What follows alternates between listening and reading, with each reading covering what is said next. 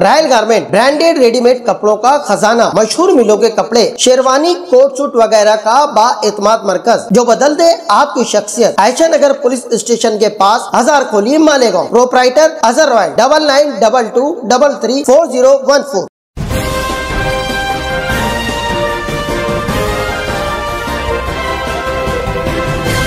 Manav Samachar. मानवता के हक में। मी इब्राहिम शेख कोपरगाव तालुक्यातील वडगाव या गावातून रिपोर्टिंग करण्यासाठी आलेलो आहोत.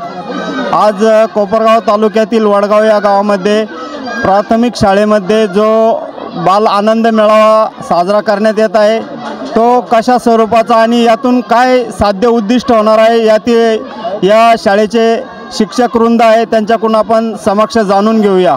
तर आज वडगावच्या या प्राथमिक शाळेमध्ये जो आनंद मेळावा साजरा सण सा उत्सव साजरा होत आहे यामागचं उद्दिष्ट काय आणि यातून मुलांचं काय भवितव्य घडणार आहे हे सांगू इच्छिता का आपण?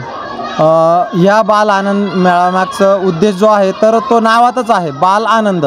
पहिली गोष्ट म्हणजे ह्या कार्यक्रमाचं जे आयोजन केलेलं आहे याच्यामुळे बालकांना आनंद भेटतो ही गोष्ट एक आहेच.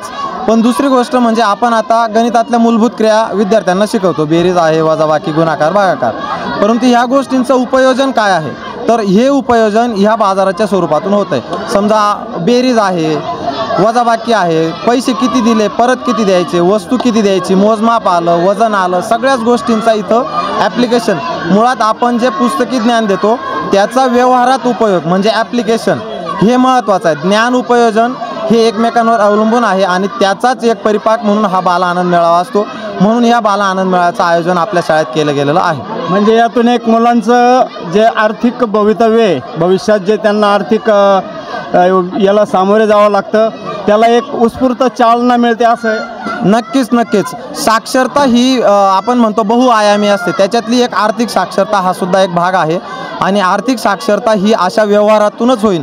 पुस्तकी ज्ञानातून तर होणारच आहे पण प्रत्यक्ष अनुभवातून होईल म्हणूनच याचं आयोजन केलेलं आहे. यानंतरचे तरुण तडफदार सरपंच यांची मुलाखत घेऊया. यावर त्यांचं काय म्हणणं आहे? तर आपली यावर काय प्रतिक्रिया आहे? आपण गावचे मुख्य आहात सरपंच आहे या नात्याने आपली काय प्रतिक्रिया आहे? अ, आनंद मेळावा साजरा करणं एकदम चांगलं वाटतं. कारण अ, मुलांना व्यावहारिक जीवनामध्ये अ, ज्ञान मिळतं. भविष्यामध्ये आपलं जीवन क हे करताना इथं विविध पदार्थांची विक्री केली फळभाज्या अ, व- हाताची ड्रॉइंग पेंटिंग्स असतील तयार पदार्थांची विक्री हे अ, ग्रामस्थ असतील किंवा विद्यार्थी असतील देणघेण होती. भविष्यामध्ये जीवनामध्ये व्यवहार कसे करायचे लहान वयातील मुलांना कळतं. त्यामुळं एकदम चांगलं वाटतं.